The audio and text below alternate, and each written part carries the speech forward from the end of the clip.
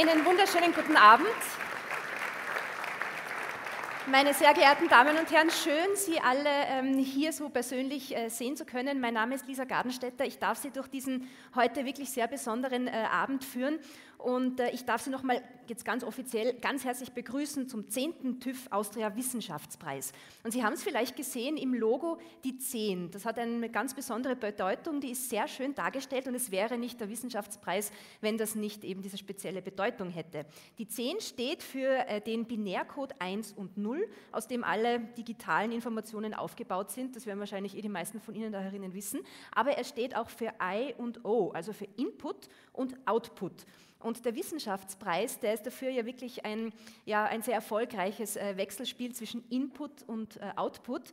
Ähm, ein Aspekt ist natürlich der Input. Das sind die zahlreichen eingereichten Arbeiten äh, von Ihnen allen heute, von den Kandidatinnen und Kandidaten.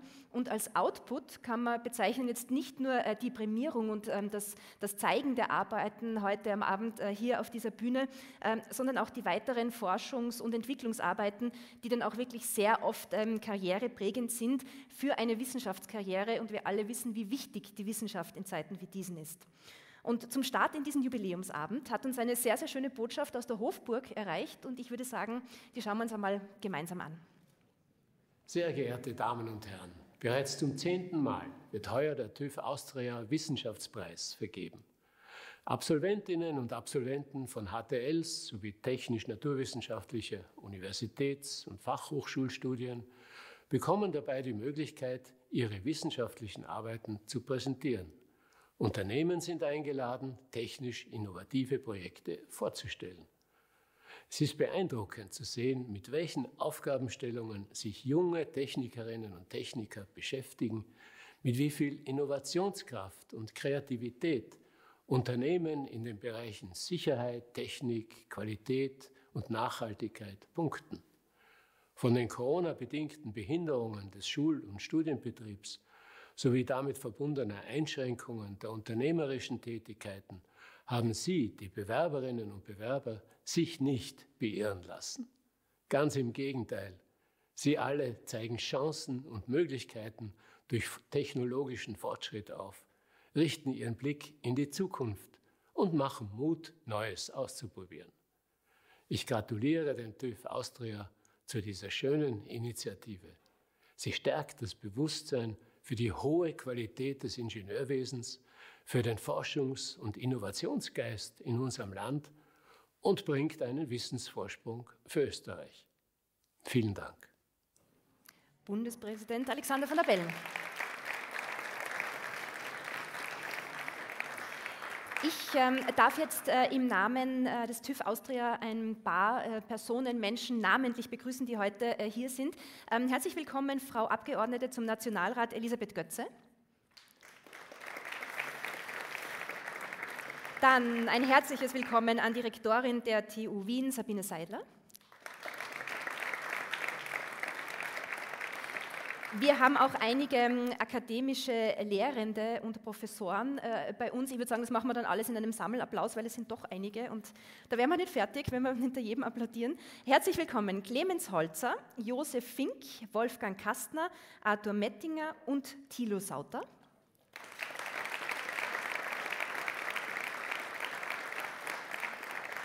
Dann aus dem Vorsitzteam der österreichischen Hochschülerinnen und Hochschülerschaft an der TU Wien heißen wir herzlich willkommen Ivana Slatonic und Scheicher, Michael Scheicher.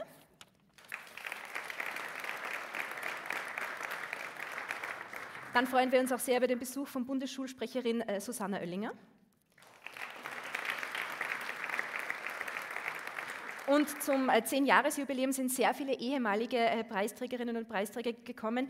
Ein herzliches Willkommen an Andreas Bertsch, Lara Bettinelli, Thomas Brückel, Jakob Buchsteiner, Thomas Eibel, Stefan Erben, Michael Fischer, Thomas Greiner, Timi Gundacker, Patrick Kraus, Christoph Lechleitner, Andreas Mattes, Sebastian Neuhofer, Raphael Schaaf, Dorothea Sulzbacher und Moritz Taferner. Herzlich willkommen an Sie alle. Ja, und last but not least begrüße ich natürlich die Vorstände der TÜV Austria Group, Stefan Haas und Christoph Wenninger.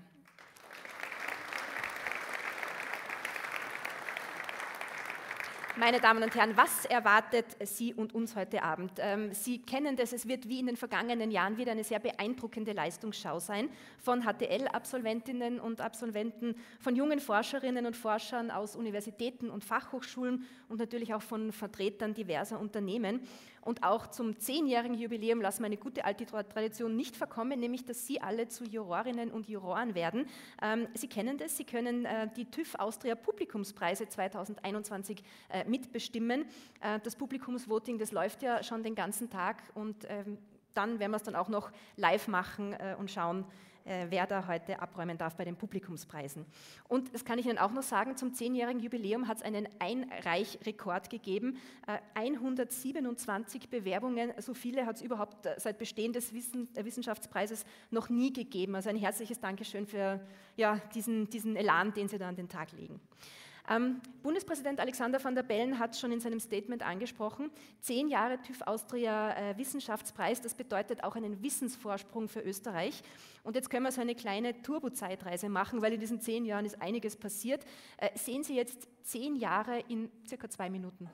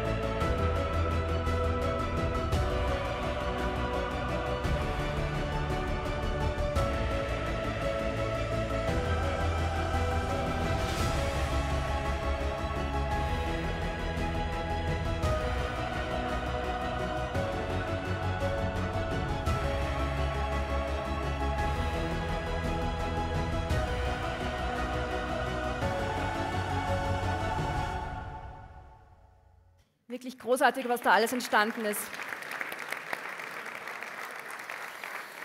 Ähm, nach dieser kleinen Zeitreise möchte ich Sie jetzt noch auf ähm, den Hashtag des heutigen Abends äh, hinweisen. Das wäre er. Also wenn Sie während der Veranstaltung, oder nicht wenn Sie, bitte posten Sie während der Veranstaltung unter diesem Hashtag. Wir freuen uns sehr. Ähm, Instagram, Facebook, Twitter, was immer Sie gerne mögen. Ähm, ich würde sagen, wir fangen an. Ich darf jetzt gleich die Rektorin der TU Wien, Frau äh, Professor Sabine Seidler, und den CEO der TÜV Austria Group, Dr. Stefan Haas, zu mir auf die Bühne bitten.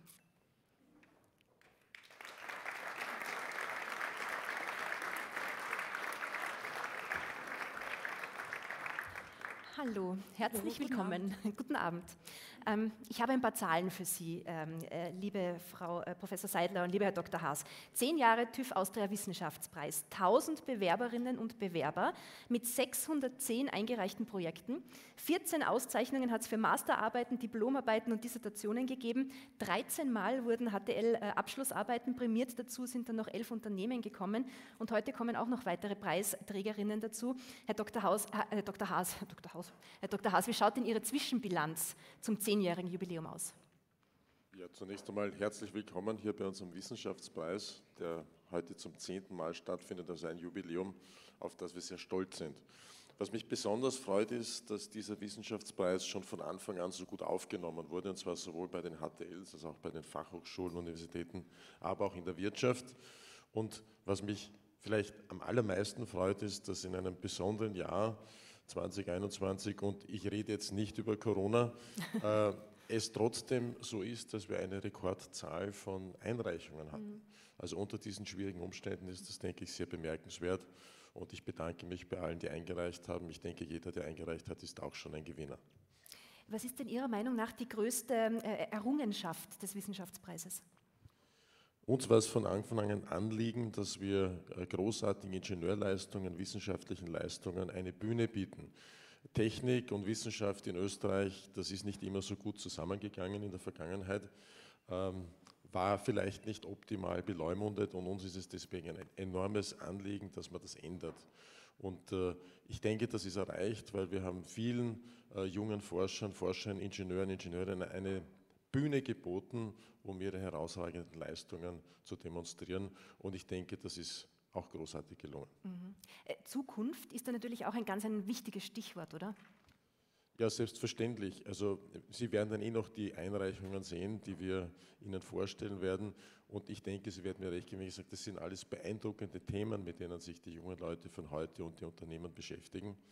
Weil das ist alles zukunftsgerichtet. Und Österreich ist deswegen eine starke Volkswirtschaft, weil wir eben einen echten Ingenieurgeist haben seit vielen, vielen Jahrzehnten und auch Forscher, äh, die international ganz vorne mit dabei sind. Deswegen ist, wenn Sie so wollen, jeder Wissenschaftspreis auch zukunftsträchtig. Und eine Bemerkung vielleicht noch, auch die Preisträger selbst, äh, und ich denke, das darf man sagen, haben ja teilweise wirklich beeindruckende Karrieren gemacht. Mhm. Und wenn wir da einen kleinen Beitrag leisten können, dann freuen wir uns. Das ist äh, definitiv und ich bin schon sehr gespannt auf die heutigen Einreichungen.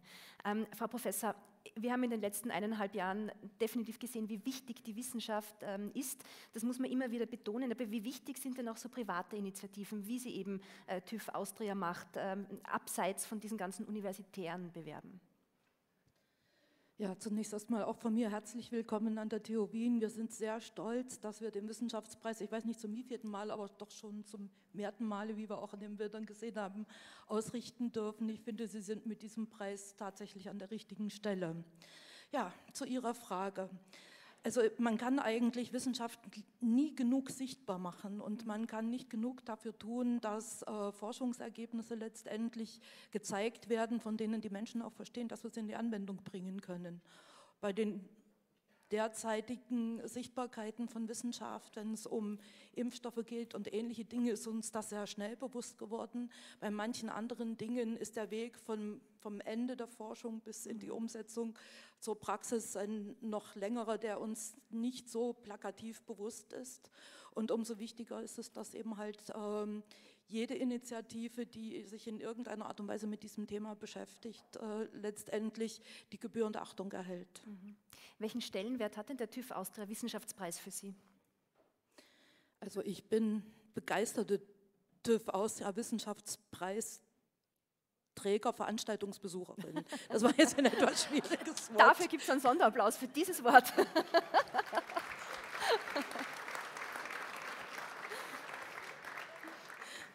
Dankeschön. Also ich bin von Anfang an dabei mhm. und es macht mir unheimlich viel Freude zu sehen, mit welcher Begeisterung junge Technikerinnen und Techniker letztendlich von HDLs, Fachhochschulen und Universitäten äh, an Projekten arbeiten, mit denen sie die Welt besser machen wollen. Mhm.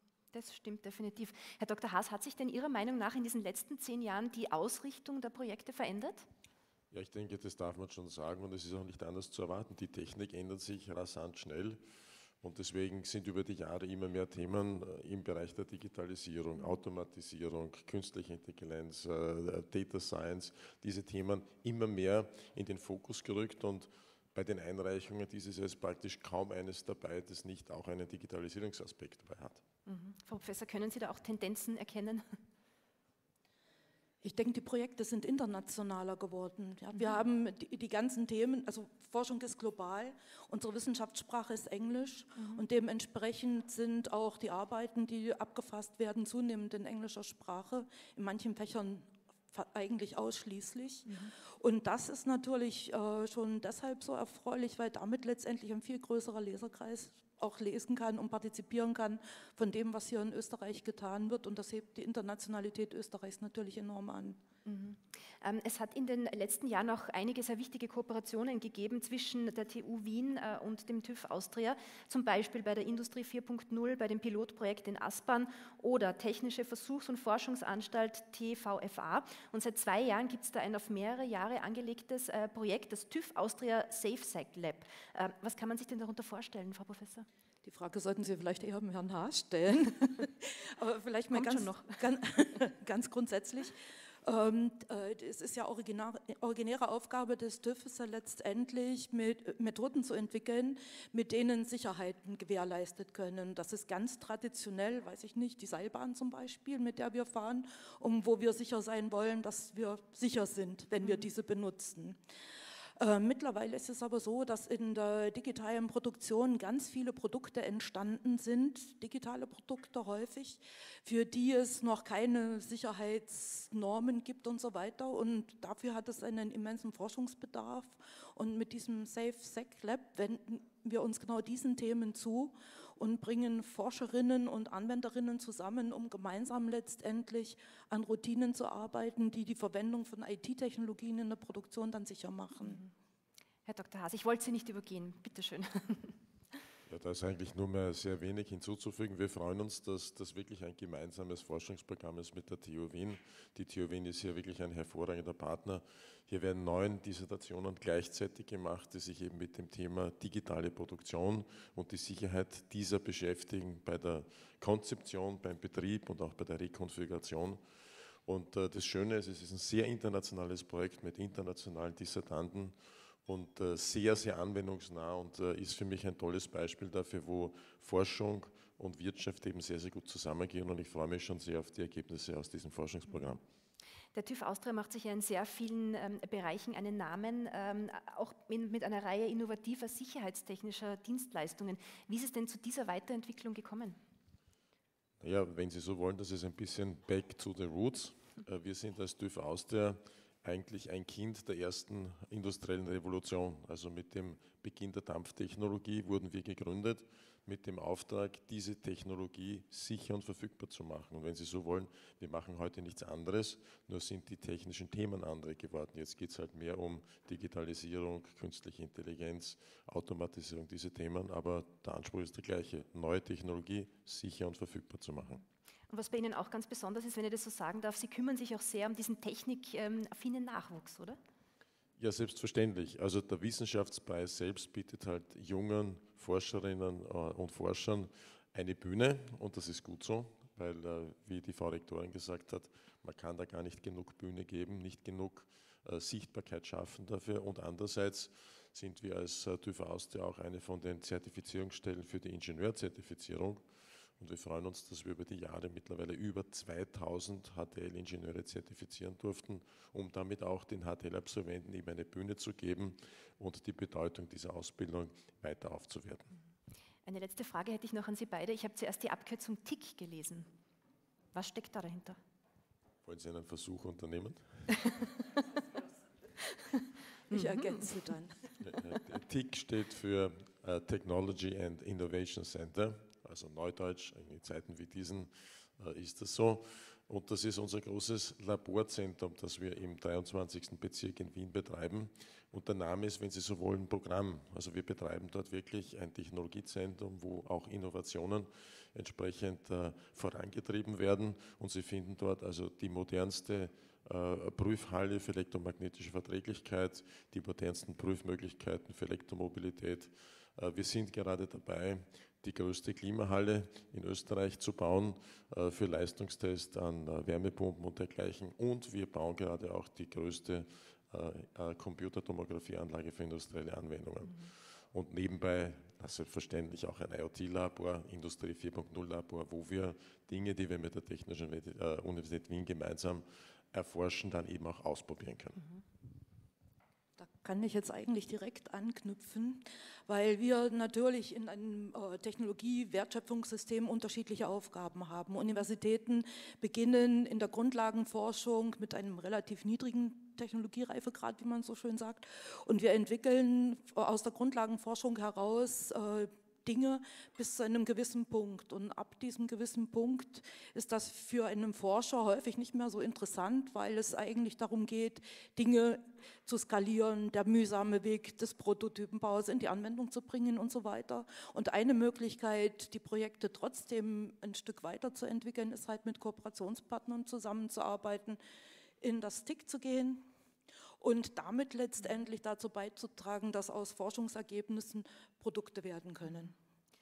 Vielen Dank fürs Erste, für dieses äh, interessante Gespräch. Jetzt haben wir schon so viel von den tollen Projekten gehört, die da äh, heute Abend eingereicht wurden. Ich würde sagen, ähm, wir schauen uns einmal an, äh, was denn da wirklich diese hohe Qualität erfüllt und die Bandbreite technisch innovativer Projekte überhaupt sind. Wie jedes Jahr wird der TÜV Austria Wissenschaftspreis eben in drei Kategorien vergeben. Universitäten und Fachhochschulen, HTL-Abschlussarbeiten und Beispiele aus der Unternehmenspraxis.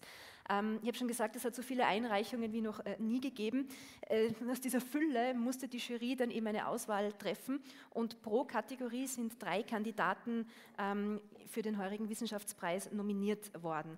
Wir starten gleich mit der ersten äh, Kategorie, nämlich Universitäten und Fachhochschulen. Und da darf ich gleich äh, die nominierten Kandidaten hier auf der Bühne begrüßen.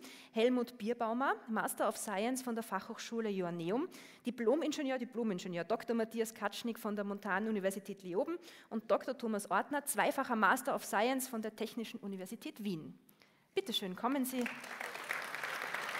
auf die Bühne.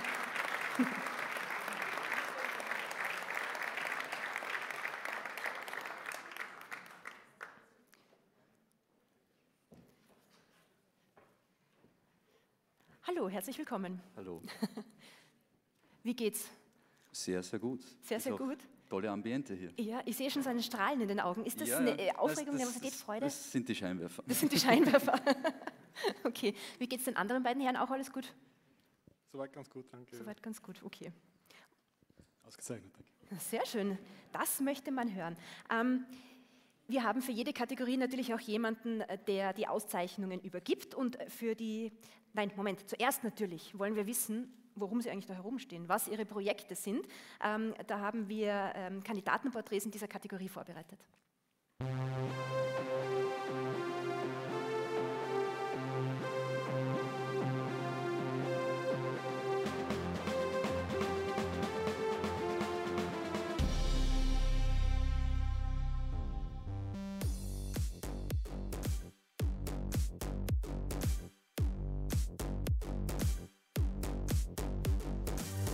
Kennen das, eine neue App am Handy installiert und schon muss man eine Menge an Daten von sich preisgeben, beziehungsweise der Applikation bestimmte Berechtigungen erteilen. Unternehmen wie Amazon und Google nutzen diese Informationen, um ihre selbstlernenden KI-Systeme weiterzuentwickeln und ständig zu verbessern. Für die Benutzer gibt sich daraus ein Gegensatz. Zum einen möchten sie von den leistungsfähigen Diensten der Anbieter profitieren. Gleichzeitig aber geben die wenigsten gerne ihre persönlichen Daten preis. Allerdings gibt es Anonymisierungstechniken, wie etwa das Verfälschen von Bildern oder das Generalisieren von Nutzerdaten, wie beispielsweise Alter- und Standardinformationen. Die im Rahmen meiner Masterarbeit durchgeführten Fallstudien zeigen, dass diese Anonymisierung, wenn überhaupt, nur minimale Auswirkungen auf die Lernfähigkeit von KI-Systemen hat. Basierend auf diesen Ergebnissen habe ich mich gefragt, wie Datenschutzmechanismen möglichst effizient in mobile Apps integriert werden können. Zu diesem Zweck habe ich eine Softwarebibliothek für das Betriebssystem Android entwickelt. Damit erhalten Softwareentwickler die Möglichkeit, etablierte und getestete Techniken zur Bewahrung der Privatsphäre mit geringstem Aufwand in ihre Applikationen zu implementieren. Mit diesem Konzept, das sich rein auf anonymisierte Daten beschränkt, ergeben sich mehrere Vorteile. Ein höheres Maß an Privatsphäre sowie eine größere Bereitschaft der Benutzer, mehr Informationen preiszugeben. Den Unternehmen wird ermöglicht, immer leistungsfähigere Dienste zu entwickeln, von denen letztlich alle Endbenutzer profitieren.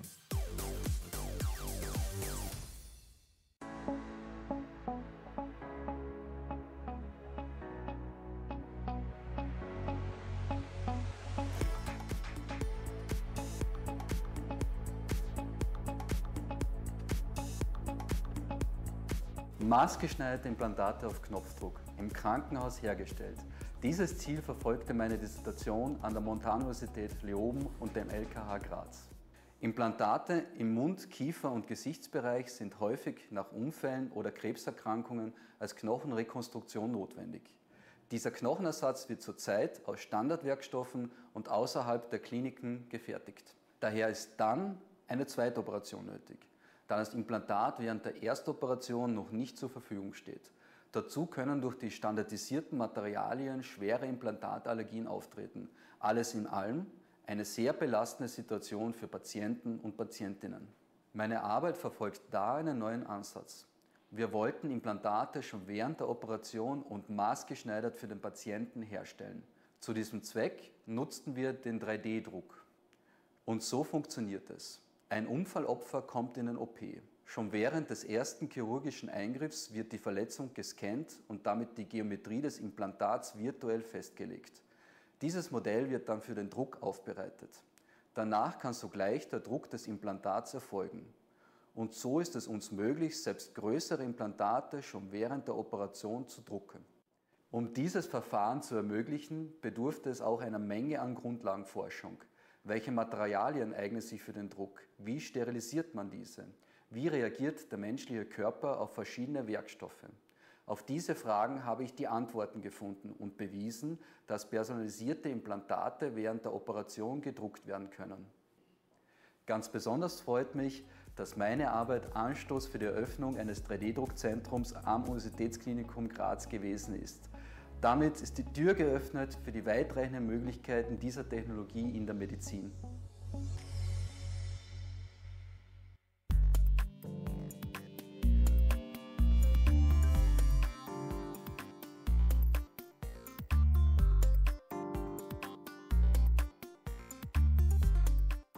Gibt eine Reihe von Arbeitsgebieten, in denen dreidimensionale Daten äußerst wichtig sind, zum Beispiel im Tunnelbau, in der Stadtentwicklung oder auch bei der geologischen Analyse von Gesteinsschichten. Nehmen wir den Tunnelbau. In Kooperation mit einer Tunnelvermessungsfirma habe ich 3D-Ansichten und andere wichtige Daten kombiniert, wie zum Beispiel Länge, Orientierung oder Feuchtigkeit von Rissen. Die gemeinsame Betrachtung dieser beiden Aspekte ist wichtig, um kritische Stellen im Tunnel zu finden und entsprechend zu warten. In der Stadtentwicklung ergeben sich ganz andere räumliche Fragestellungen. Zum Beispiel, wie wirkt sich ein neu geplantes Gebäude auf das Stadtbild aus? Mein Ansatz versucht Sichtbarkeit in Zahlen auszudrücken. Zum Beispiel, wie viel wird vom Stephansdom verdeckt durch ein neues Gebäude. So lassen sich Kandidaten bereits in der Ausschreibungsphase nachvollziehbar anhand ihrer Sichtbarkeit bewerten. Auf der Suche nach vergangenem Leben hier auf der Erde, aber auch am Mars, analysieren Geologen und Geologinnen Gesteinsformationen, um alte Flussläufe und Seen zu entdecken. Hier habe ich eine ehemals statische Grafik interaktiv und datenbasiert neu entworfen und direkt mit 3D-Ansichten der Gesteinsoberfläche integriert. Mit diesem Werkzeug können Geologen und Geologinnen ihre Analysen deutlich schneller durchführen und die Ergebnisse auch für andere Wissenschaftsteams nachvollziehbar präsentieren. Die Ergebnisse meiner Dissertation demonstrieren anschaulich die Relevanz und Umsetzung von enger Integration zwischen zwei- und dreidimensionalen Ansichten.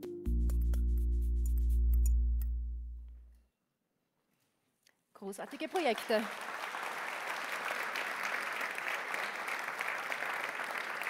So, Jetzt darf ich ähm, für die Verleihung die Vorjahressiegerin in dieser Kategorie Universitäten, Fachhochschulen zu mir auf die Bühne bitten. Ähm, Frau Diplomingenieur Lara Bettinelli. Sie hat letztes Jahr keinen Applaus bekommen, weil alles virtuell war. Vielleicht können wir es jetzt nachholen.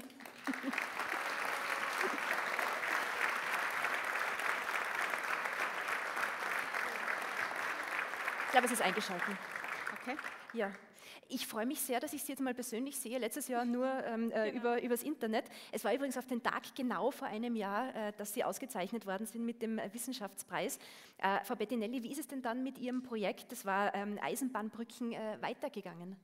Äh, ja, also ich konnte das Thema natürlich auch nicht einfach so, das hat, das hat mich jetzt auch nicht losgelassen. Das heißt, ich hatte die tolle Gelegenheit, direkt mit einer Doktorarbeit am gleichen Institut, an dem ich die Diplomarbeit geschrieben habe, also hier an der TU Wien, am Institut für Tragkonstruktion bei Professor Fink, der auch da ist, ähm, zu Beginn. Mhm. Und da stecke ich gerade mittendrin. Das heißt, es geht weiterhin um die Modellierung von Eisenbahnbrückenschwingungen und wie wir Modelle verbessern können, um, um das, die Berechnungen genauer zu machen. Das ist wunderbar. Jetzt wird spannend, weil wir werden nämlich gleich wissen, wer ja Ihr Nachfolger ähm, Ja. wird, wer den TÜV Austria Wissenschaftspreis 2021 in der Kategorie Universitäten Fachhochschulen bekommt. Dankeschön. Darf Soll- ich schon öffnen? Ja, wenn Sie natürlich. Ich, geht's oder soll ich Ihnen das Mikro halten? Oder geht's eh? Ja, gerne. Sehr schön.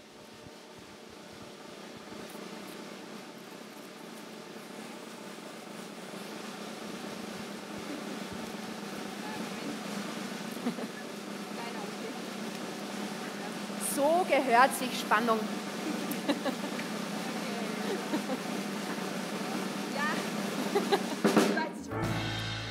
falsch. Ich glaube, das sind zwei Umschläge. Das sind zwei Umschläge. Ja, Na, ja, ja, wir wollten es so spannend wie möglich machen. Okay, jetzt ich. Haben wir's? Dankeschön. Okay, so. Also, herzlichen Glückwunsch an den Diplom-Ingenieur, Diplom-Ingenieur Dr. Matthias Katschnik.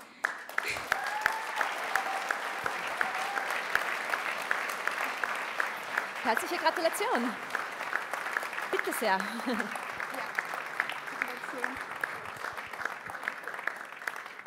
Wunderbar. Ja. Herr Katschnik, wie fühlen Sie sich? Was bedeutet Ihnen dieser Preis? ja, jetzt sind es nicht mehr die Scheinwerfer, jetzt leuchte ich wirklich. Ja, ja also toll, tolle Sache. Also ich bin wirklich froh. Wirklich, also ich habe damit nicht gerechnet, ich habe nicht nur mal gerechnet, dass ich in die Shortlist komme und dass ich den Preis dann wirklich bekomme. Also TÜV kommt ja wirklich vom Tüfteln anscheinend, ja. also Ja. man freut sich wirklich darüber. Ja. Wirklich, Sie haben nicht damit gerechnet, das erstaunt mich jetzt. Ja, es ist, äh, keine Ahnung, wissenschaftliche Bescheidenheit, aber auf jeden Fall freut es mich, freut's mich sehr. Die wissenschaftliche Bescheidenheit. Dann äh, herzlichen Glückwunsch nochmal. Vielen Dank, äh, Frau Bettinelli, für diese spannende äh, Verkündung und äh, natürlich auch ähm, einen äh, großen Applaus für Sie beide. Herzlichen Dank. Und Sie bekommen Ihre Preise von Dr. Haas. Herr Dr. Haas, darf ich Sie auf die Bühne bitten, dass Sie die Statuetten überreichen?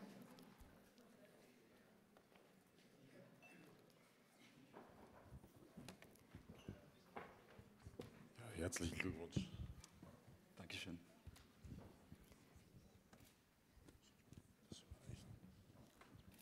Und eine wunderbare, eine wunderbare Statuette. Herzlichen Glückwunsch noch einmal. Bravo.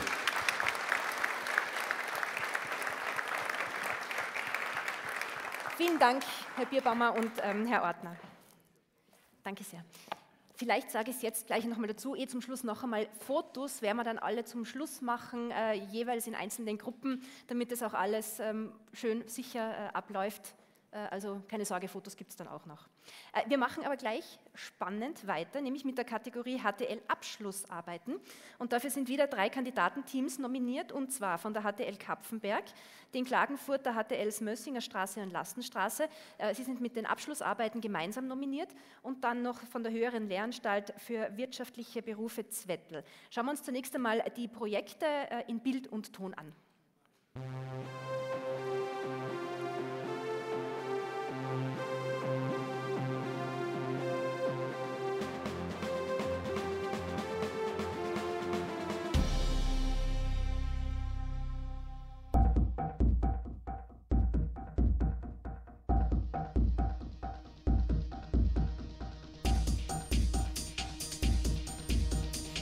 3D-Drucktechnologie wird in der heutigen Zeit immer wichtiger und findet immer mehr Anwendungsbereiche in der Industrie, in der Medizintechnik und im Leichtbau.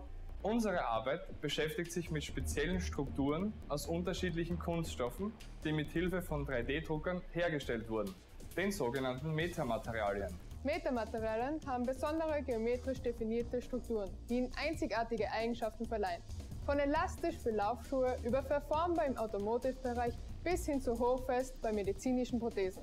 Da diese sehr komplexen Strukturen nur schwer zu berechnen sind, haben wir in unserer Arbeit untersucht, ob Ergebnisse von mechanischen Tests mit den Ergebnissen von computergestützten Simulationen übereinstimmen. Dies haben wir mit vier ausgewählten Strukturen, bestehend aus drei unterschiedlichen Kunststoffen mit jeweils zwei verschiedenen Fertigungsverfahren realisiert. Dabei hat sich gezeigt, dass im elastischen Verformungsbereich die Simulationen mit den Ergebnissen der mechanischen Prüfungen übereinstimmen. Das heißt, dass in Zukunft schon vor der Herstellung von Metamaterialien mittels Simulation getestet werden kann, ob sich diese für den gewünschten Anwendungsbereich eignen oder nicht. Dies führt zu einer enormen Kostenersparnis und Steigerung der Qualität und Sicherheit bei Anwendung dieser Materialien.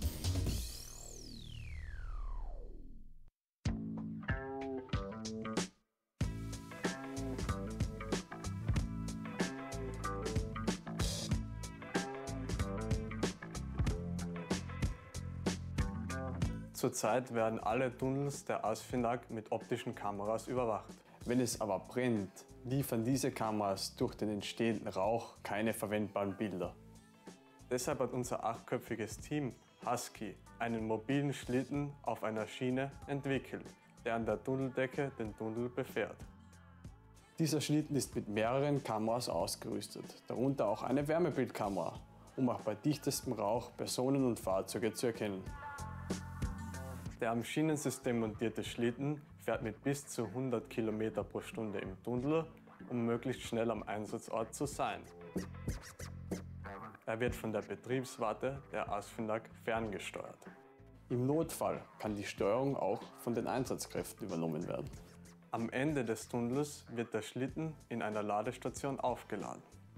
Eine Akkuladung reicht für etwa eine Stunde. Im Normalbetrieb kann das System zum Beispiel verwendet werden, um Gefahrguttransporte im Tunnel zu begleiten und eventuelle Probleme rechtzeitig zu erkennen. In Zukunft erhalten Rettungskräfte durch Husky unsere mobilen Schlitten lebensentscheidende Informationen. Die Anzahl und das Befinden der Personen im Tunnel, als auch die genaue Position von Fahrzeugen und Hindernissen an der Gefahrenstelle. Dadurch ist die ASFINAG für alle Situationen gerüstet.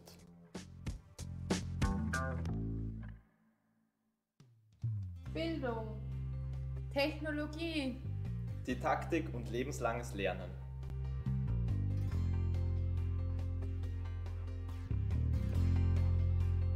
Digitalisierung prägt alle Lebensbereiche und auch im Bildungsbereich stellt uns die Digitalisierung vor neue Herausforderungen, wobei es dadurch Corona eine neue, immense Schubkraft gibt. Ziel unserer Arbeit war es, eine neue einheitliche Bildungs- und Weiterbildungsplattform zu konzipieren, welche sich für verschiedene Schulstufen eignet. Genauer für Primarstufe, Mittelschulen und allgemein für höhere Lehranstalten. Das soll zu einer Vereinfachung der Prozesse im Bildungsbereich führen und einen Mehrwert für den eigenen Bildungsweg ermöglichen. Dazu haben wir zuerst drei aktuelle Lernplattformen analysiert und evaluiert. Dann haben wir Stärken dieser Anwendungen mit unseren Überlegungen gebündelt und so unsere innovative Lernplattform Milarium auf Deutsch Meilenstein entwickelt. In Zusammenarbeit mit dem IT-Unternehmen MP2 ist es uns gelungen, mit Miliarium eine praxisgerechte Lernplattform zu gestalten, die technisch gesehen State of the Art ist. Sie ist für alle technischen Endgeräte zugänglich, benutzerfreundlich und datenschutzkonform. Wissen wird vermittelt, aufgenommen und evaluiert. Und für uns besonders wichtig, es findet nicht nur digitale Wissensvermittlung, sondern auch soziale Interaktion statt. Für die Zukunft stellen wir uns vor, das Miliarium um die Bereiche Studium, Erwachsenenbildung sowie Ausbildung im Unternehmen ergänzt wird. Yeah!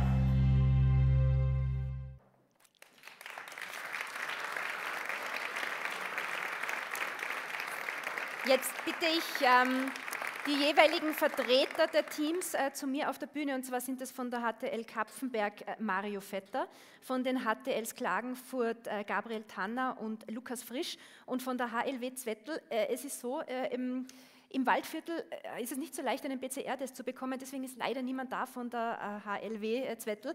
Aber ähm, eine Firmenpartnerin von MP2, äh, in Vertretung begrüße ich Nicole Teubenbacher von IT Solutions GmbH und liebe Grüße, Sie schauen sicher zu, also alles Gute von uns und ja, schade, dass ihr nicht da seid.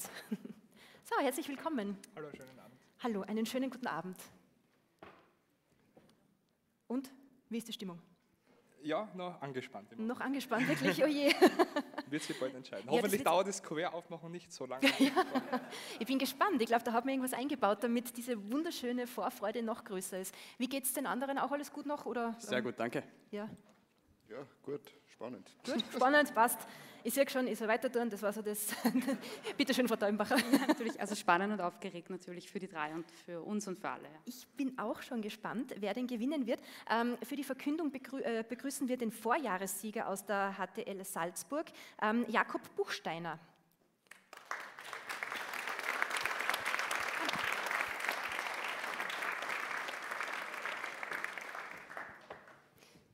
Herr Buchsteiner, schönen guten Abend. So, jetzt muss ich mal schauen, wie wir uns da am besten ähm, staffeln. Ich glaube, ich gehe mal da herüber.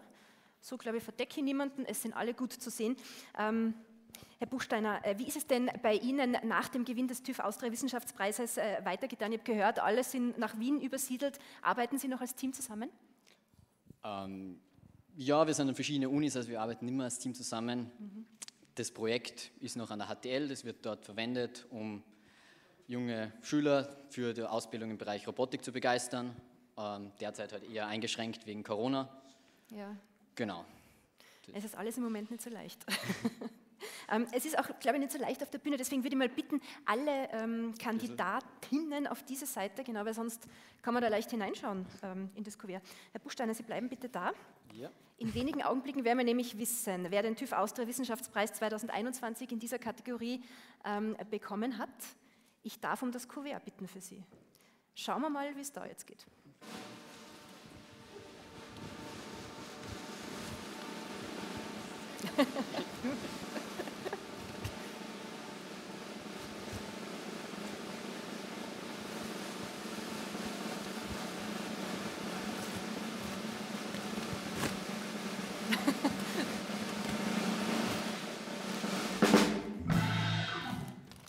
Das ist gut. Herzlich, herzlichen Glückwunsch an Andreas Meyer, Gabriel Tanner, Gilbert Tanner, Lukas von der HTL Klagenfurt-Mössinger Straße und Lukas Frisch, Dominik Scherre, Luca Jörg, Emanuel Lading und Daniel Morak von der HTL Klagenfurt-Lassenstraße. Herzlichen Glückwunsch!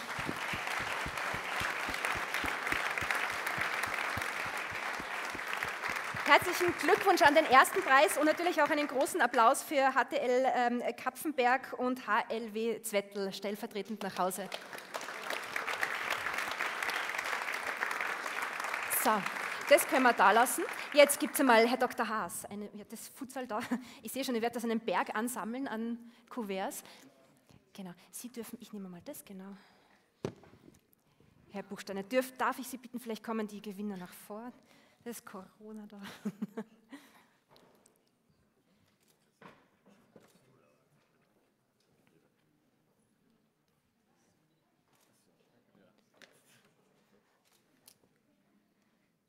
Hat sie die Aufregung ein bisschen gelegt oder ist jetzt nur mehr? Nein, hat sie gelegt jetzt. Hat sie gelegt? Genau. Wo? Bitte, ich brauche einen Techniker, der das da jetzt einschaltet. AGD, okay. Wo kommt denn da diese wunderschöne Statuette hin bei euch? Also da ist es noch nicht entschieden. Wir werden uns der aufteilen von den Schulen wahrscheinlich. Das müssen wir uns noch ausschnapsen. Ah, okay, das wird noch ausgeschnapst, ich verstehe. Herzlichen Glückwunsch äh, an euch jedenfalls und genießt äh, den Abend. Danke vielmals. Gratulation noch einmal. Und natürlich für euch gibt es auch noch äh, ein, eine Urkunde. Dankeschön. Mal schön desinfizieren. Damit kommen wir zur dritten Kategorie Unternehmen. Auch hier wurden drei Projekte nominiert, nämlich das ABC Abwehrzentrum des österreichischen Bundesheeres, Austrian Power Grid AG und Tribotech GmbH. Ich darf jetzt gleich die Repräsentanten der Unternehmen zu mir auf die Bühne bitten. Und zwar ist das Oberst Jürgen Schlechter ähm, vom ABC Abwehrzentrum, dann Stevica Rakic von Austrian Power Grid und Dr. Lars Hensgen von Tribotech. Herzlich willkommen. Vielen Dank. Hallo? Man fühlt sich gleich ein bisschen sicherer, wenn man jemanden von einem ABC-Abwehrzentrum da hat, irgendwie, muss ich Ihnen sagen. Man fühlt sich gleich ein bisschen sicherer, wenn man jemanden vom ABC-Abwehrzentrum da hat. Das ist gut so. Ähm, wie ist denn die Stimmung bei Ihnen? Ich nehme an, ein bisschen gelassener oder? Na, ich glaube, ich bin genauso aufgeregt wie alle anderen, die heute auf der Bühne gestanden sind. Mit ja. Ihrer Ausnahme, weil Sie machen das schon zum zehnten Mal. Nein, nicht zum zehnten Mal, aber es ist, man steht ja in diesen Zeiten nicht mehr so oft auf Bühnen, deswegen ist das natürlich heute auch wieder mal ein bisschen was, was anderes. Also ich bin auch ein bisschen aufgeregt, äh, muss ich sagen. Ähm, aber ich würde mal sagen, wir schauen uns an, was Sie drei denn machen. Wir haben da wieder einen Film vorbereitet.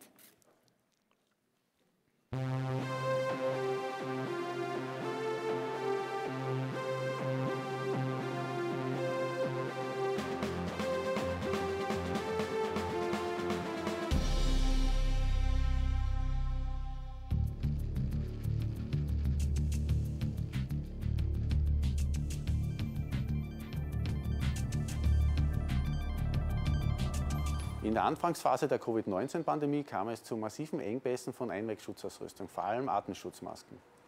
Das ABC-Abwehrzentrum des österreichischen Bundesheeres entwickelte im Rahmen des nationalen Krisenmanagements Verfahren zur sicheren Aufbereitung von FFP2 und FFP3-Masken. Dazu waren im Wesentlichen drei Schritte notwendig. Erstens die hygienische Aufbereitung der Masken. Wir haben die Masken thermisch, also mittels Hitze aufbereitet. War das aufgrund des Maskenmaterials nicht möglich, wurde auf ein chemisches Alternativverfahren zurückgegriffen. Dabei wurden bereits bestehende Dekontaminationsgeräte des österreichischen Bundesheeres verwendet. Das Aufbereitungsverfahren wurde in Zusammenarbeit mit dem Hersteller der Geräte optimiert. Weiters wurden in allen Entwicklungsschritten ein besonderer Augenmerk auf die Qualitätssicherung gelegt. Diese garantiert die hygienische Sicherheit sowie die einwandfreie Schutzfunktion der Masken nach der Aufbereitung und stellt somit einen wesentlichen Aspekt für die Akzeptanz der Anwender dar. Neben der reinen Aufbereitung war auch der logistische Prozess eine Herausforderung, vom Sammeln bis zur Verteilung der aufbereiteten Masken. Krisenbewältigung zwingt zur Innovation. Mit den von uns entwickelten Verfahren kann das österreichische Bundesheer im Falle einer neuerlichen Pandemie, wenn diese Masken wieder einmal ausgehen sollten, einen wesentlichen Beitrag zur Krisenbewältigung leisten.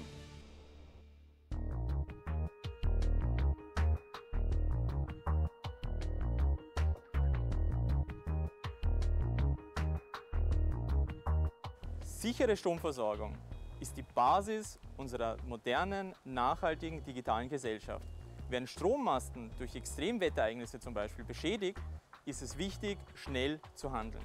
In der Vergangenheit konnte man mittels Mast, Leitungs- und Notrufnummer Beschädigungen an Stromleitungen der APG-Sicherheitszentrale melden. Seit 2019 haben wir zusätzlich alle 12.000 Strommasten in Österreich mit einem QR-Code und dem dazugehörigen Sicherheitskonzept versehen.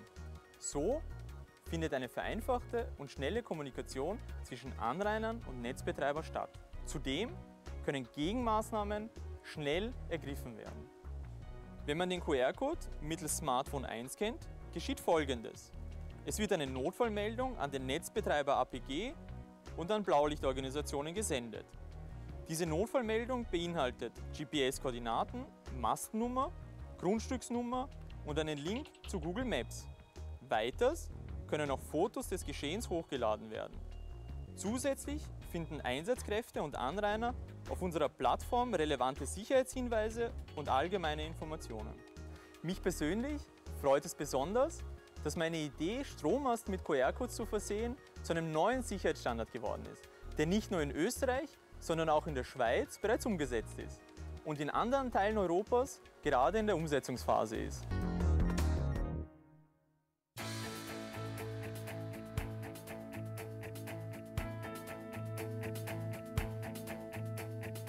Wasserstoff ist ein wichtiger Rohstoff, der in der Zukunft noch mehr an Bedeutung gewinnen wird. Er wird eingesetzt in der Stahlherstellung, in der chemischen Industrie, für die Energiespeicherung über lange Zeit und als Kraftstoff für Wasserstofffahrzeuge. CO2-neutraler Wasserstoff kann mittels Wasserelektrolyse hergestellt werden. Bei einer der gängigen Formen der Elektrolyse werden Platin und Iridium als Katalysatoren verwendet. Und wie man weiß, sind dies sehr teure Materialien und deshalb wird nach Alternativen dazu geforscht. Bisher untersuchte Ersatzmaterialien mussten alle als Nanomaterialien vorliegen. Aufgrund der Bedingungen während der Elektrolyse sind diese aber nicht langzeitstabil und sind daher für einen industriellen Einsatz unbrauchbar. Hier kommt nun unsere Innovation ins Spiel. Wir bei Tribotec haben in Kooperation mit dem Fraunhofer Umsicht-Institut das Material Sulfitec Penflow 500 entwickelt. Penflow ist das erste kommerziell verfügbare Alternativmaterial zu Platin. Es ist leistungsfähiger und wird aus gut verfügbaren Rohstoffen wie zum Beispiel Eisen und Schwefel hergestellt. Weiter wird mit unseren Penflow-Materialien keine teure Wasseraufbereitung für die Elektrolyse benötigt, sondern es kann normales Süß- und Salzwasser verwendet werden. So wird grüner Wasserstoff in Zukunft wesentlich kostengünstiger hergestellt und damit der Wandel zu einer CO2-neutralen Gesellschaft beschleunigt. Drei sehr spannende Projekte.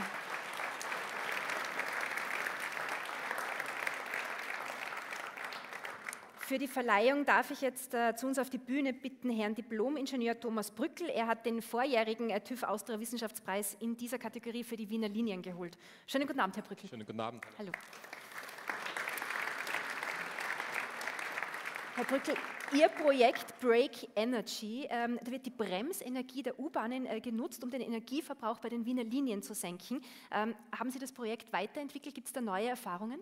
Das, die ersten Projekte waren ja sehr erfolgreich und es hat auch geholfen, dass wir mit dem Preis ausgezeichnet worden sind.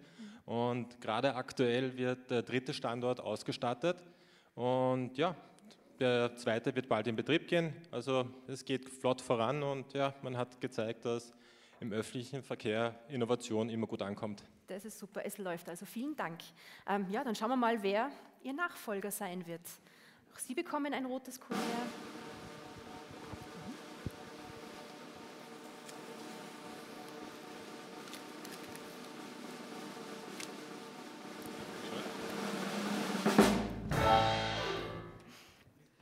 Der diesjährige Gewinner ist die Austrian Power Grid AG. Herzliche Gratulation. Vielen Dank, Dankeschön. Herzliche Gratulation, da freut sich ja wirklich wer. Ja, Was bedeutet Ihnen der Preis? Na, wirklich, also mich freut es besonders, hier in so einem Ambiente so einen Preis entgegenzunehmen. Ich meine, gerade in der heutigen Zeit freut man sich noch mehr über solche Sachen, über solche Veranstaltungen, wo man noch hingehen kann. Und ja, wie der Herr Dr. Haas eingangs schon erwähnt hat, so wie das TÜV versuchen auch wir, neue Technologien ähm, sicher zur Verfügung zu stellen. Und bei uns geht es auch um die sichere Stromversorgung von Österreich. Dankeschön. Herr Rakic, herzliche Gratulation. Danke. Und natürlich auch einen großen Applaus für Oberst Schlechter vom ABC Abwehrzentrum sowie Dr. Lars Hensgen von Tributec GmbH. Alles Gute auch für Sie. So, jetzt dürfen Sie natürlich noch Ihre Urkunde und Ihre wunderschöne Statuette entgegennehmen. Das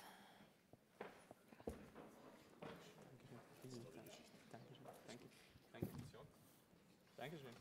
Danke nochmal an alle. Vielen Dank. Dankeschön. Großen Applaus für Sie.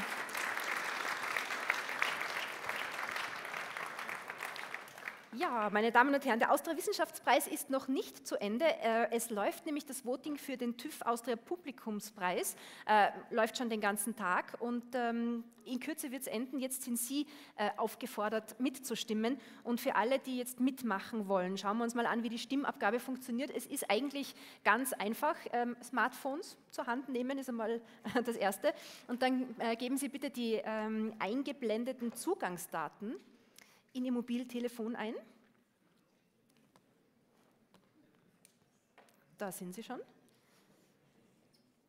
Aber ich nehme an, viele von Ihnen sind eigentlich eh schon äh, eingeloggt. Wir machen jetzt da auch das gleiche, das gleiche Prozedere. Den ersten Publikumspreis ähm, ermitteln wir in der Kategorie Universitäten und Fachhochschulen. Ich schaue mal kurz. Da wird noch fleißig getippt. Na, brauchen wir es nochmal? Ja, bitte nochmal die, die Folie mit den Zugangsdaten. genau.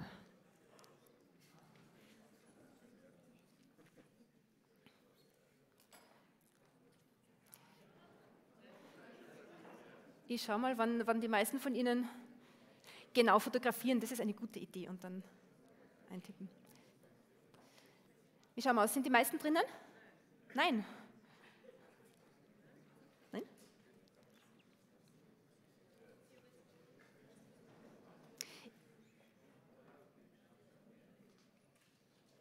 Ich ähm, würde sagen, Es hat sich ein bisschen, ich schaue so in, in, die Gesichter und auf Ihre Hände, es hat sich ein bisschen das Tippen beruhigt. Schauen wir uns einmal an, ähm, welche Projekte bei Universitäten und Fachhochschulen ähm, zur Wahl stehen. Als allererstes holen wir mal ähm, ja, die Vertreter der zwei Projekte auf die Bühne. Ich begrüße Herrn Diplomingenieur Patrick Geiger von der Universität für Bodenkultur in Wien und Helga Ludwig, Master of Science von der Johannes Kepler Universität in Linz.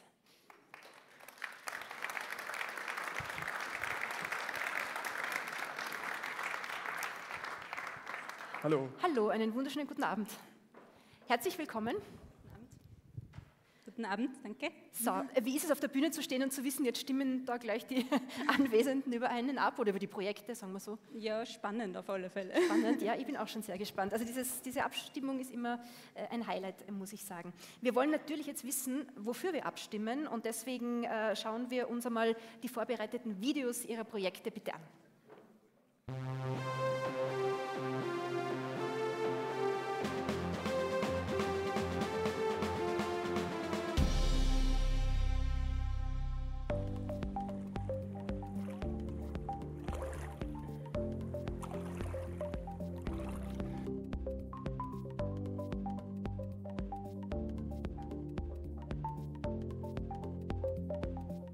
Man schwimmt in einem See und plötzlich kitzelt es an den Füßen. Meistens handelt es sich dabei um die Wasserpflanze Myriophyllum spicatum. Da es sich störend auf Freizeitaktivitäten und das Flussbild auswirkt, muss es regelmäßig gemäht werden. So fallen zum Beispiel an der Alten Donau in Wien 3000 Tonnen Seegras im Jahr an.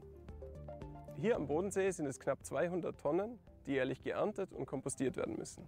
Wir hatten zum Ziel, eine nützliche Verwendung für diese große Menge an Biomasse zu finden. Daher haben wir die Pflanze zuerst chemisch analysiert und darauf aufbauend diverse Anwendungsmöglichkeiten getestet, mit besonderem Wert auf umweltschonende und nachhaltige Herstellung.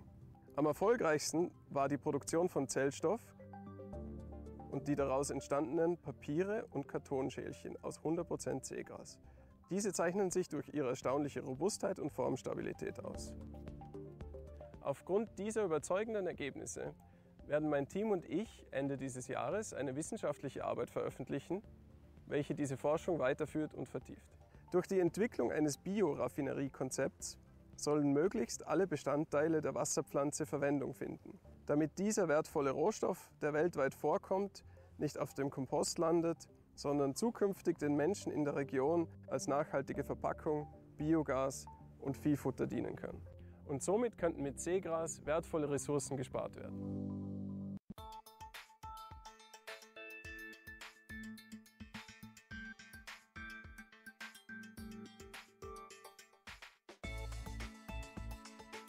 Der Begriff Antikörper ist uns allen seit Beginn der Corona-Pandemie vertraut. Antikörper sind die Reaktion unseres Immunsystems auf Viren und Bakterien. Um genau festzustellen, welche Art von Virus oder Bakterium den Körper infiziert hat, kann zum Beispiel ein Antigentest gemacht werden. Dieser macht sich auf die Suche nach Antigenen, also nach Teilen des Virus. Solche Tests können sehr aufwendig werden, wenn man nicht einschränken kann, welche Art von Infektion vorliegt. Bei meiner Masterarbeit habe ich geforscht, wie mit Hilfe von künstlicher Intelligenz festgestellt werden kann, welche Antikörper notwendig sind, um einen unbekannten vorliegenden Virus zu erkennen und damit die Art der Infektion. Dabei habe ich unterschiedliche Methoden von künstlicher Intelligenz angewandt. Klassische Machine Learning und Deep Learning Methoden.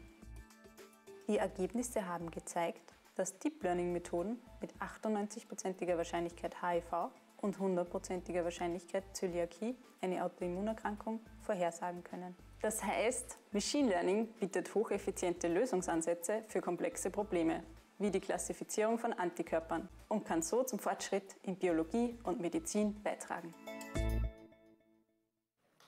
Sehr tolle Projekte.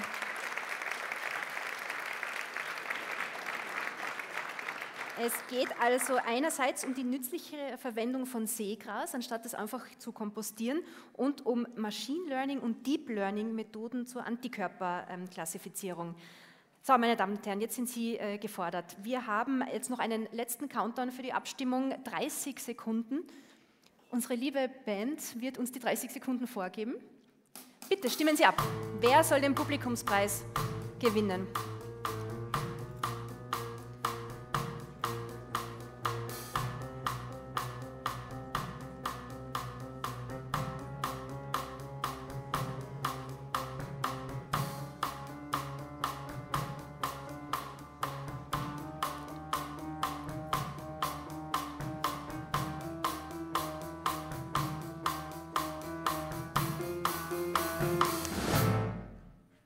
So, 63 Prozent zu 37 Prozent. Ähm, Herr Geiger, Sie bekommen den TÜV Austria Publikumspreis. Herzliche äh, Gratulation und auch einen großen äh, Applaus. Falsch? Ich bin ein bisschen, ich, muss jetzt gestehen, ich habe zwei unterschiedliche Augen, eins kurzsichtig, eins weitsichtig. Es ist, es ist leider Gottes wirklich so und es ist sehr klein da unten. Ich entschuldige mich äh, vielmals. Ähm, ja, Frau Ludwig. Sie sind die Gewinnerin des TÜV Austria Publikumspreises. Herr Dr. Haas, darf ich Sie? Einen großen Applaus auch für Sie, Herr Geiger. Ähm, ja, tut mir sehr leid äh, für meine Verwechslung, ähm, aber einen großen Applaus eben für Sie beide und Sie bekommen jetzt Ihre Urkunde und die wunderbare Statuette. Ich gratuliere Ihnen beiden und alles Gute ähm, für Ihre Forschungen und einen schönen Abend noch. Vielen Dank.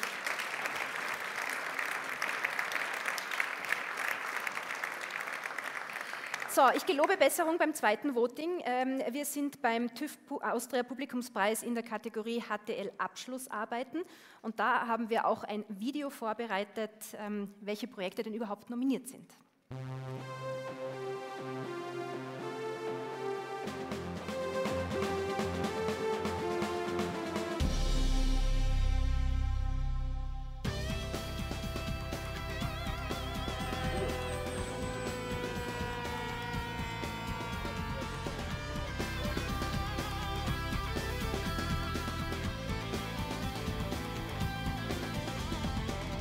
Unbemannte Luftfahrzeuge werden heute in vielen Bereichen verwendet, beispielsweise in der medizinischen Notversorgung von abgelegenen Gebieten. Wichtig dabei ist die Reichweite dieser Drohnen. Bei unserem Transportflugzeug Photon haben wir diese durch zwei innovative Konzepte gesteigert. Erstens durch die Verwendung von hochmodernen Solarzellen. Diese sind so dünn wie Papier und können durch ihre Flexibilität perfekt an die Oberfläche angelegt werden. Zweitens haben wir ein besonderes Design verwendet, die Blended Wing Bodyform, bei der der Rumpf ebenfalls zum Auftrieb beiträgt. In der Luftfahrtindustrie wird bereits intensiv an diesem zukunftsträchtigen Konzept geforscht. Weiters haben wir einen modularen Innenraum gestaltet, welcher schnell an verschiedene Verwendungszwecke angepasst werden kann. Unser Flugzeug kann mittels Katapult gestartet, über Autopilot betrieben und durch abnehmbare Flügel leicht transportiert werden. Bei einer Spannweite von zweieinhalb Metern haben wir ein Leergewicht von gerade einmal drei Kilogramm. Durch unser neuartiges Konzept konnten wir die Reichweite unseres Luftfahrzeugs verdoppeln. In Zukunft könnten durch weitere Optimierungen auch unbegrenzte Reichweiten geflogen werden.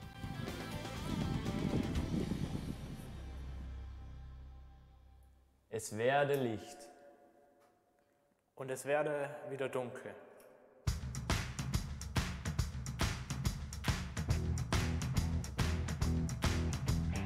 Straßenlaternen haben ein großes Problem. Sie leuchten selbst, wenn sie nicht benötigt werden. Dadurch wird sehr viel Energie verschwendet und es nimmt auch die Lichtverschmutzung zu. Darum haben wir unser Projekt Smart Lantern ins Leben gerufen.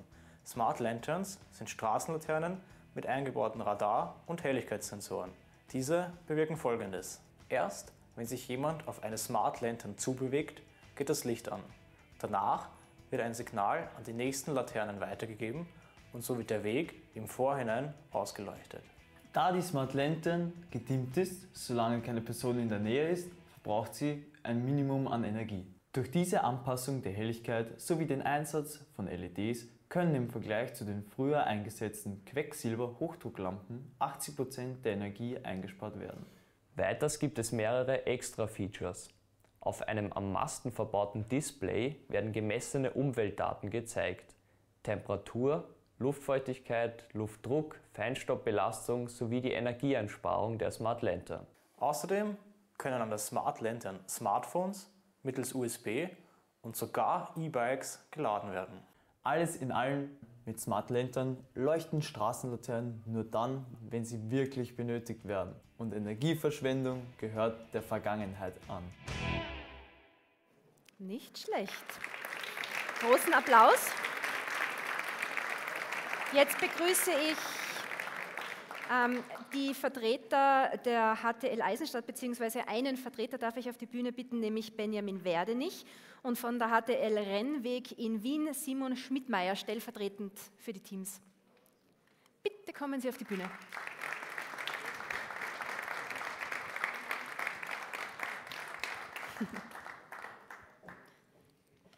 Hallo. Hallo. herzlich Hallo. willkommen, Herr Werdenich und Herr Schmidtmeier. Und alles gut, noch? Ja, jetzt Ja. war schon sehr neugierig, glaube ich. Wunderbar. Dann schauen wir uns ähm, vielleicht noch mal ganz kurz an, welche Projekte es sind. Zum einen Solarzellen für Reichweitensteigerung eines unbemannten Luftfahrzeugs und Straßenbeleuchtungen, die nur dann äh, leuchten, wenn sie auch tatsächlich gebraucht werden. Meine Damen und Herren, bitte greifen Sie wieder zum Handy. Ähm, wen möchten Sie oder bei wem würden Sie eher sehen, dass er den Publikumspreis verdient hat? Ich würde bitte wieder, Dankeschön, 30 Sekunden haben wir Zeit.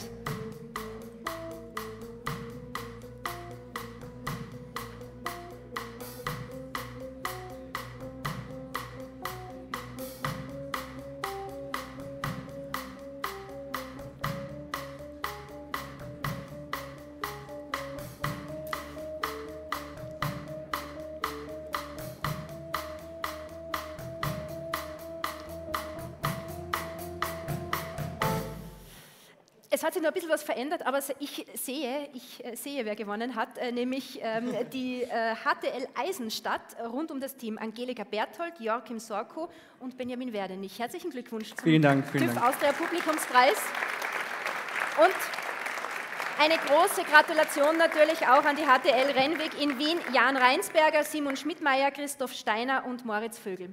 Herzliche. Gratulation auch an Sie. Herr Dr. Haas hat jetzt die Auszeichnung für Sie. Dankeschön, Dankeschön.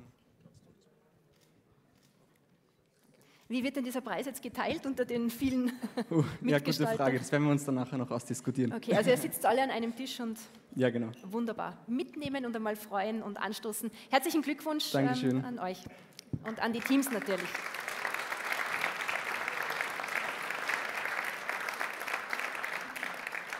Es ist wirklich immer wieder schön zu sehen, äh, wie viel kreatives Potenzial und Erfindergeist äh, in so jungen äh, Menschen drinnen steckt. Also ich finde das wirklich immer großartig bei dem, beim Wissenschaftspreis. So, wir sind beim dritten Voting, beim TÜV Austria Publikumspreis in der Kategorie Unternehmen. Und auch hier gibt es ein kurzes Video, worüber Sie gleich abstimmen können.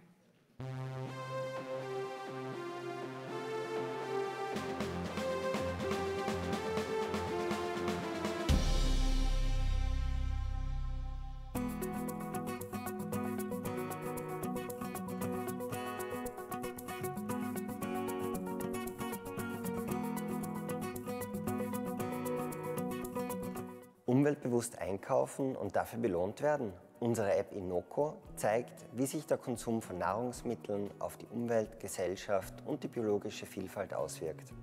Scannen Sie einfach Ihren Kassenzettel. Inoko zeigt Ihnen, wie klimafreundlich Sie eingekauft haben. Dazu werden die gekauften Lebensmittel nach ihrem CO2-Fußabdruck gereiht und wir informieren darüber, wie diese abschneiden in puncto Klima- und Tierschutz, soziale Arbeitsbedingungen und wie gesund Ihr Einkauf ist. Produkte können natürlich auch schon vor dem Einkauf gescannt werden, um diese Informationen zu erhalten. Und dazu gibt es gegebenenfalls Empfehlungen für nachhaltigere Alternativen. Außerdem nimmt jeder gescannte Kassenzettel an einer monatlichen Verlosung teil. Dabei hat man die Chance, für besonders nachhaltige Einkäufe 200% des Einkaufswerts zurückzubekommen, 100% für durchschnittlich nachhaltige und 50% für weniger nachhaltige Einkäufe. 50% auch für weniger nachhaltige Einkäufe? Ja, denn wir möchten auch jene Menschen abholen, die noch nicht zu den Öko-Enthusiasten zählen. Dazu bietet Inoko auch spannende Challenges an. Zum Beispiel probieren Sie doch mal, ob Ihnen Ihr Müsli nicht auch mit pflanzlicher Milch schmeckt. Oder können Sie einmal pro Woche auf Fleisch verzichten? Jede dieser Challenges wird mit vier Produktgutscheinen belohnt. Machen Sie mit, laden Sie sich die kostenlose Noco-App herunter und lassen Sie sich für umweltbewusstes Einkaufen belohnen.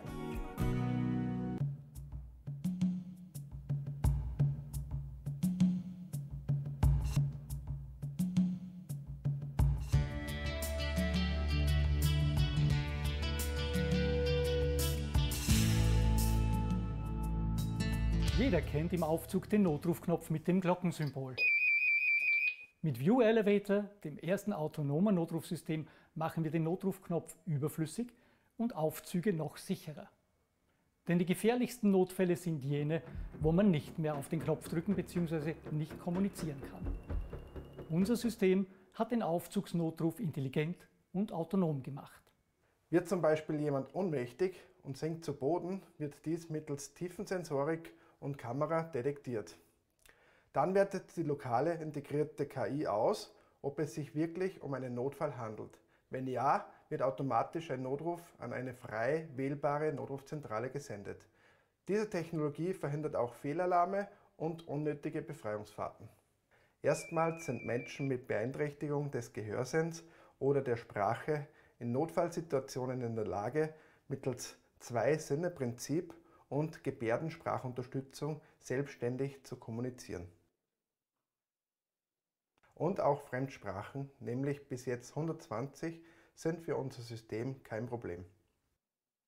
Weiters erkennt unser System in kritischer Infrastruktur, wie zum Beispiel Flughäfen, Vandalismus und unbegleitete Gegenstände. Gleichzeitig dient unser System als digitaler Aufzugswärter und prüft zum Beispiel Abstellgenauigkeit, die Beleuchtungssituation, die korrekte Türschließung und vieles mehr. Abschließend sei noch anzumerken, dass unser System nicht nur in Aufzügen angewendet werden kann, sondern in den verschiedensten Räumlichkeiten, zum Beispiel barrierefreie Toiletten, Stationen oder Wartehäuschen. Damit dringt unser intelligentes Notrufsystem in neue Dimensionen der proaktiven Sicherheit und konsequenten Barrierefreiheit vor.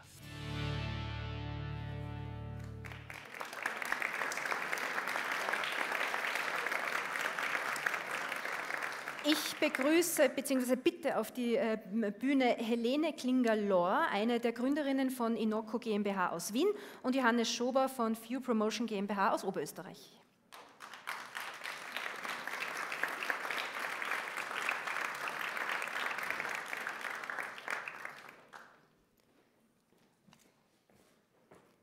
Hallo, herzlich willkommen. Zwei ganz tolle Projekte sind das, also ja. wirklich sehr, sehr spannend. ähm, ja, äh, ich wollte nur schauen, ob man Sie eh alle gut sehen kann, äh, Sie beide, wenn wir jetzt gleich abstimmen werden. Noch einmal zur Erinnerung, eine App, die den Konsumenten Daten über die Auswirkungen von Lebensmittelprodukten auf die Umwelt, die Gesellschaft und die biologische Vielfalt zur Verfügung stellt, äh, sowie einen autonomen, barrierefreien Notruf im Aufzug, der mittels tiefen Sensorik und künstlicher Intelligenz arbeitet. Meine Damen und Herren, unser letzter Preis, den wir heute vergeben, Zwei ganz tolle Projekte haben Sie. 30 Sekunden noch zum Abstimmen.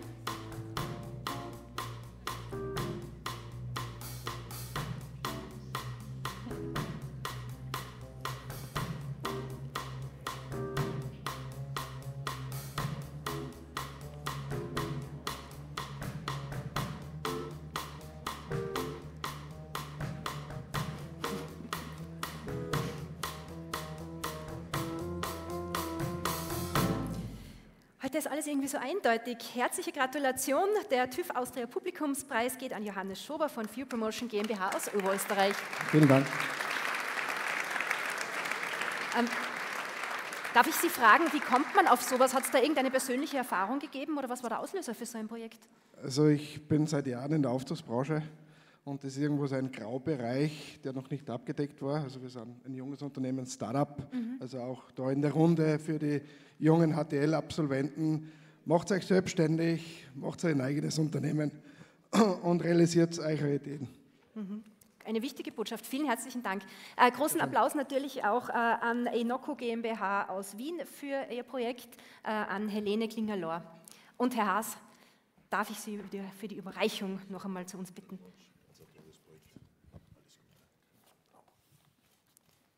Herzliche Gratulation. Gratuliere Ihnen. Dankeschön. Ähm, ja, Herr Dr. Haas, jetzt sind Sie mir wieder äh, entfleucht, weil, meine Damen und Herren, ähm, mit der Vergabe der Publikumspreise neigt sich jetzt auch äh, das diesjährige Event zum 10. TÜV Austria Wissenschaftspreis seinem Ende zu. Und ich würde jetzt gerne noch einmal für die Schlussworte ähm, an den CEO der TÜV Austria Group, Dr. Stefan Haas, übergeben. Heute habe ich Sie ein paar Mal die Bühne herauf und hinunter gejagt. Bitte schön, Herr Doktor. Ja, ich darf mich nochmal bei Ihnen allen bedanken fürs Kommen. In Zeiten wie diesen alles andere selbstverständlich, aber ich hoffe, Sie stimmen mir zu, es hat sich gelohnt. Wir haben eine ganze Reihe von ganz herausragenden Projekten und Forschungsergebnissen gesehen und das macht mich sehr zuversichtlich, wenn ich über die Zukunft des Landes nachdenke. Wir haben äh, ein enormes Potenzial an Ingenieurgeist, an Forschungsgeist in Österreich und ich freue mich, dass wir das heute ein bisschen auf die Bühne bringen konnten, dass wir eine Bühne geben konnten für junge Forscherinnen und Forscher und junge Ingenieure. Vielen Dank, dass Sie gekommen sind und jetzt möchte ich damit schließen und Ihnen einen schönen Abend wünschen. Dankeschön. Vielen Dank, Herr Dr. Haas.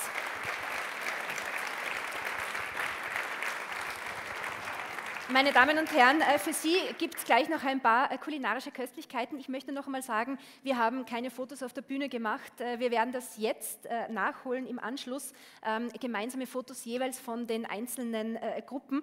Dazu darf ich dann natürlich auch Rektorin Seidler und Dr. Haas noch einmal auf die Bühne bitten. Ähm, wir beginnen mit den Preisträgern des heutigen Abends, je nach Gruppe, und dann natürlich auch diesen schönen historischen Moment ähm, von den ehemaligen Preisträgern. Die dürfen wir dann auch noch für ein Gruppenfoto Foto äh, auf die Bühne bitten. Ich sage auch vielen herzlichen Dank ähm, für Ihre Aufmerksamkeit und ähm, ja, fürs, fürs Dasein und Mitvoten und dass es eben so unterstützt wird, dieser TÜV Austria Wissenschaftspreis. Haben Sie noch einen schönen Abend und bleiben Sie gesund. Vielen herzlichen Dank.